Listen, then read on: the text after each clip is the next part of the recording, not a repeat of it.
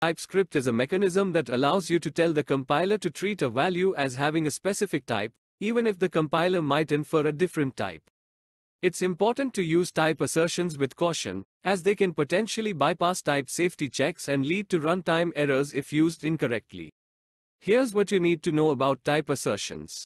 Purpose. Overriding the inferred type. Sometimes, the compiler might not be able to accurately infer the type of a value due to complex logic or external factors. Type assertions allow you to explicitly tell the compiler what type you believe the value has. Interacting with JavaScript code, when working with JavaScript libraries or frameworks that don't have proper type definitions, type assertions can be used to bridge the gap and provide type information to TypeScript. Syntax. There are two main ways to perform type assertions. 1. Angle bracket syntax, less than type greater than.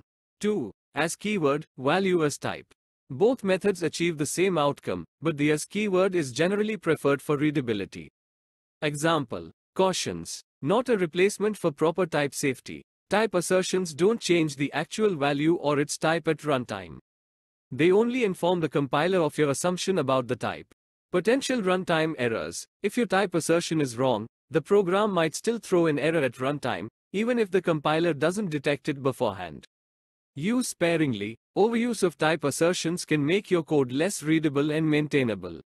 Use them only when necessary and be confident about your reasoning. Alternatives. Consider these alternatives before resorting to type assertions. Typecasting, similar to type assertions, but also performs runtime checks, can be slower. Type guards, Functions that verify the type of a value at runtime, more explicit and safer.